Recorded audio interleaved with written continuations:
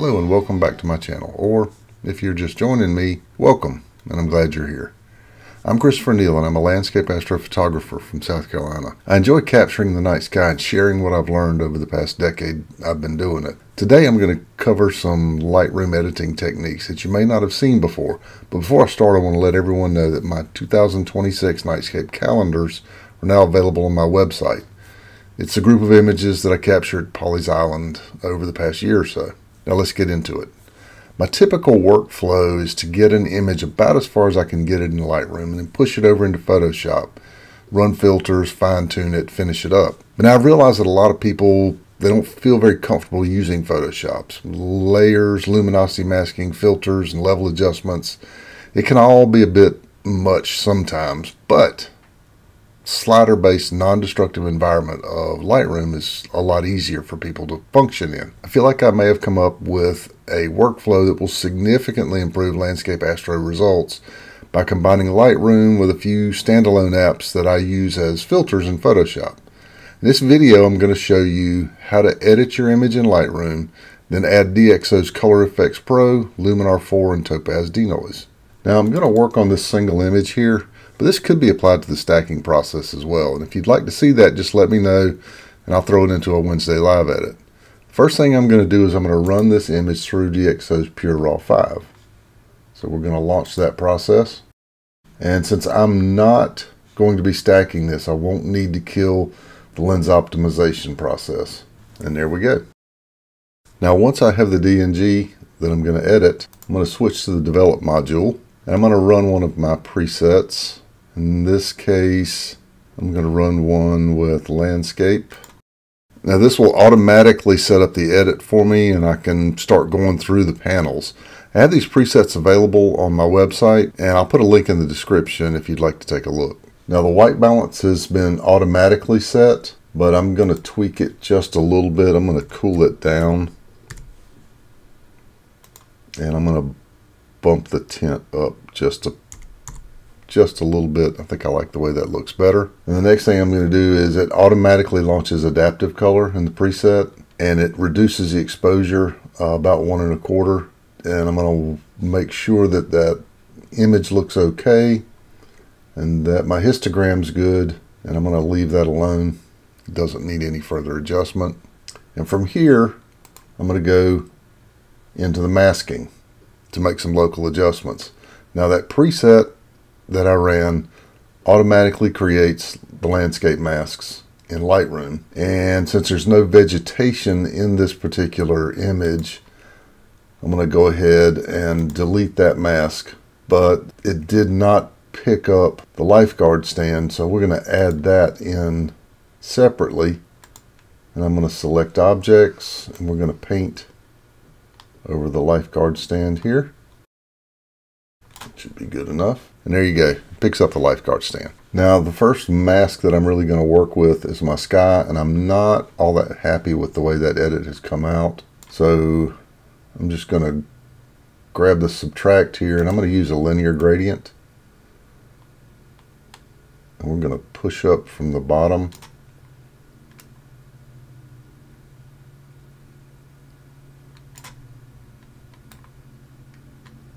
to give my horizon a nice line. And we're going to begin the edit.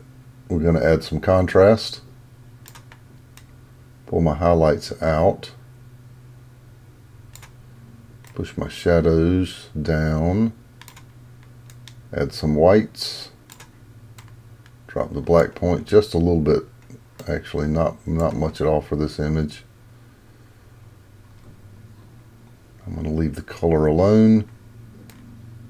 We're going to add some texture in, clarity, and now a bit of dehaze, not, not too much. It wasn't all that hazy in this image. And then next we're going to go for the water, and I'm, I'm not seeing a couple of things that I probably should see. So we're going to go in and adjust this mask a little bit. I'm going to use the brush tool to pick up a little bit more water there.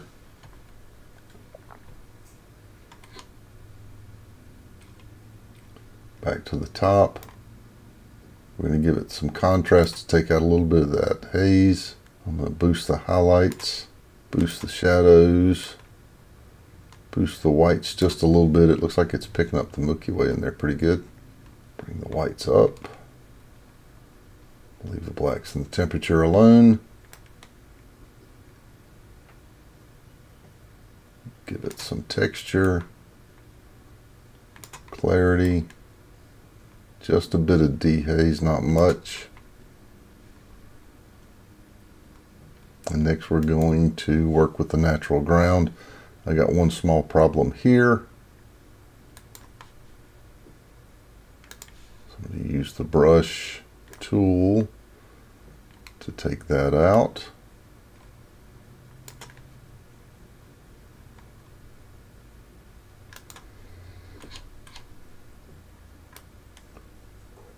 Bump the exposure up just a little. Give it some contrast. Up on the highlights. I'm going to bring the shadows up. The whites up. I'm not going to mess with the blacks, but I am going to warm that foreground up, that sand up just a little bit. Give it some texture, some clarity. No, I don't want any dehaze. And next we're going to hit this lifeguard stand just a little bit. I don't think it's going to be that big of an effect because I'm not going to take too big a swing. The white's up. The rest of it alone. Some texture, a little bit of clarity, a little bit of dehaze. Just to bring a little bit of the detail out in that. Now at this point I'd normally push over into Photoshop to finish this image up there. But I'm going to continue on in Lightscape. I'm going to do that by coming in here and right clicking in the image and I'm going to run an edit with Color Efex Nick, Nik Collection 8 Color Efex Pro. Now what it's done is create a duplicate of that image that I was working with and I'm going to come in I've got a set of recipes that I, really like. These are the ones that I use in Photoshop, but we're going to apply them over here. And I'm going to look through a couple of these. Uh, I think I like, yeah, I like this one best. But I'm going to drop correct contrast down a little bit. Push dynamic contrast up no, I think I'm going to leave color correct alone, but I'm going to take brilliance and warmth out. Now I'm going to apply, and it creates a second image. This is what we started with. This is where we are, but we're not done. I'm going to continue that process by edit in, and in this case I'm going to edit in Luminar 4. With Lightroom adjustments, creates an additional image and it pulls up Luminar 4. Now I use some Luminar looks and this one is Seascapes. As I hover over them it'll change the entire image to match. And I really like Misty Mood. I'm going to turn the strength down just a little bit. Like it there. And finally I've got one more edit. I'm going to run Topaz Denoise AI. Now I realize I've already run Denoise in Pure Raw, but I'm going to take another pass with Topaz. And we can see we've got a little bit to clean up, a little bit in the core to clean up, and in the foreground. So I'm going to apply that. Now we've gone from here to here, clearly a much better image, but we haven't done it in Photoshop. This has all been done in Lightroom. Now the last thing I'm going to do is I'm going to make a few local adjustments to this image to bring out a few parts of it, to adjust, to address a couple of things. And I'm going to do that with masking. And I'm going to use the brush. I'm going to turn this brush down just a little bit. I'm going to turn the feather down and the flow down and drop the density a little bit. And I'm going to increase the size of it. Now I'm going to paint over the Milky Way here just a little bit. And what I'm doing in this case is I'm going to target mostly the darker parts of the Milky Way. And I'm going to increase the contrast. Drop the exposure just a little bit. Continue to pull those highlights out. And deepen the shadows. And I'm also going to bump the whites up just a little bit, but it's fairly subtle.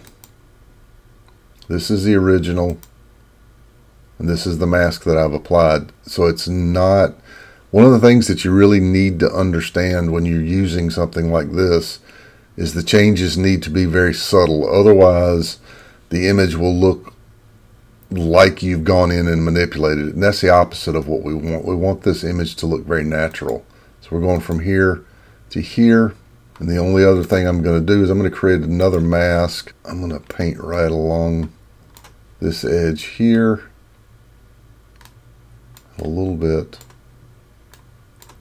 in here to address this horizon line.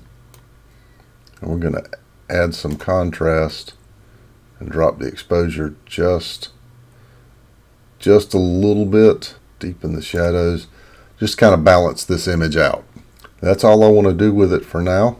The last thing as we finish up is I want to export the image. I'm going to export it to my hard drive where these images go. And I'm going to give this one a name. And just like in Photoshop, I export at 77% quality. And I'm going to resize it to run the long edge it's 2048. Kick my resolution up there. And then the last thing I want to do is I'm going to put my watermark, which I've already loaded in here. My white one on the right side of the image. And click export. There we go. That's our exported image that we just ran through these edits with in Lightroom only. I hope you got something out of that. Please let me know if you did. And if you did make it this far, I'm going to put a little code up on the screen that'll let you download my presets for about half price. Please remember to like, subscribe, and leave me a comment. Now get out there and capture some magic.